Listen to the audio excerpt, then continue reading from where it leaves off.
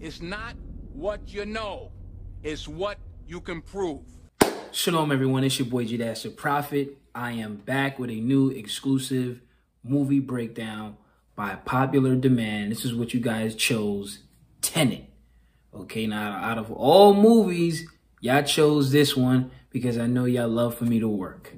Okay, but nonetheless, it is done. It is ready. So I'm going to give you guys uh, a little snippet here of this breakdown, and then you can check out the rest and see if you like it. Now, number one, the word tenet. Tenet, a principle, belief, or doctrine generally held to be true, especially one held in common by members of an organization, movement, or profession. So we see what the word tenet means. Now, just as an example of tenet, we can say, you know, the Freemasons, which is a movement organization, okay, they believe that Lucifer is light. Okay, so this is something held by a group or organization, right? Another tenet can be, you know, the Christian movement or Christianity. They believe that Jesus is God. So that's another tenet for you. So now, let's get into this uh, snippet here. We live in a twilight world. We live in a twilight world. And there are no friends at dusk. Now, in the beginning of the movie, he said, We live in a twilight world. We live in a twilight world. Hmm. What does he mean? Now, one meaning of that could be, you know, we live in a dark world. We do live in a dark world, you know, and we do live in a world where people worship, you know, the stars. Okay. Another meaning can be uh, his partner, uh, Robert Pattinson. Okay, he actually played in a movie called Twilight. We live in a twilight world. Which came out in uh, 2008. Okay, and in that film, he was a vampire, a demon who's actually undercover. You know, they had werewolves, demons, and stuff of that matter, you know, in this film. And these people were basically among the normal people. So one can say, well, yeah, we do live in a world where you have demons, devils who are walking amongst us. Okay. And they can be our, our teachers. Okay. Our teachers, our leaders, our pastors, and so forth and so on. So, yeah, we do live in a twilight world a deceptive world, a very dark world.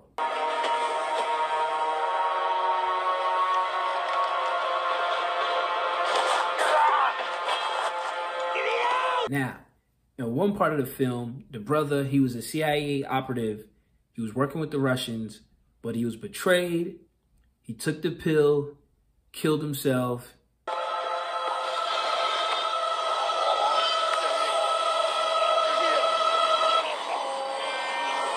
He died and then he was resurrected. Okay? Just like the New Testament story of Jesus.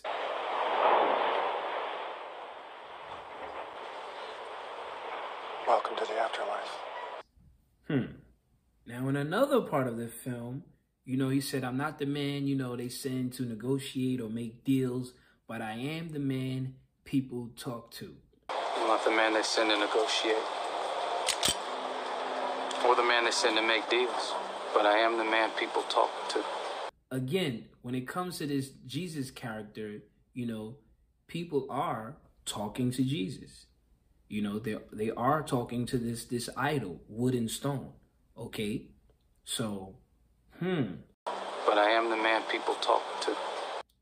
Interesting that they would have him say that. You know, but it's all a subliminal message because he is you know, metaphorically playing Jesus or they have him playing their allegory Jesus. Okay, but here's the proof here. Bring some lead lined gloves. Jesus. It's nuclear. Now, if you didn't notice, he called them Jesus. Okay? He said Jesus, he paused, and then said, it's nuclear.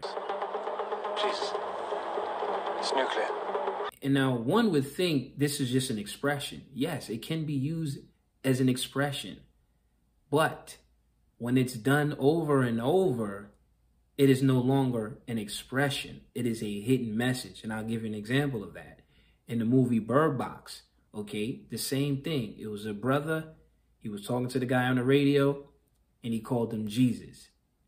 And he paused, okay, and then said, you're ways away. Where are you? Don't answer that. Near Pike's Quarry. You're a ways away. Jesus. You're ways away. Jesus. It's nuclear. Here's another example. In the movie Roman J. Israel, okay, they were calling Denzel Jesus. Let me tell you about it, George. No, no, no, no, Jesus, just stop. Roman, enough. You're a ways away. Tell you about it, George. No, no, no, no, Jesus, just stop. Jesus. It's nuclear. And they were calling him Christ. Oh, I don't have to explain any of this to you. You get it. Christ, you're going to be right in the middle of it. Christ, you're going to be right in the middle of it. Christ, you're going to be right in the middle of it. No, no, no, no, Jesus, just stop. Jesus. You're a ways away. Jesus. It's nuclear. Is this a coincidence? No, it's not. What is the purpose here? Why are they doing that?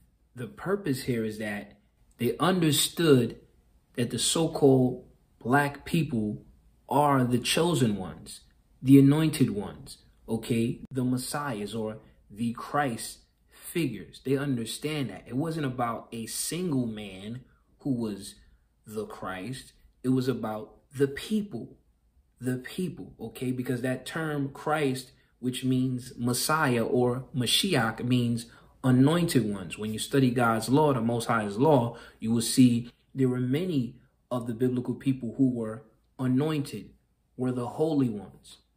Okay, King David, Saul, Solomon, the Levite priests, these were all people that were anointed. They were messiahs, Mashiachs. So they understand that. The thing they're doing here is holding on to their allegory, which is there's just one single person who was a Messiah, who was an anointed one, a Christ.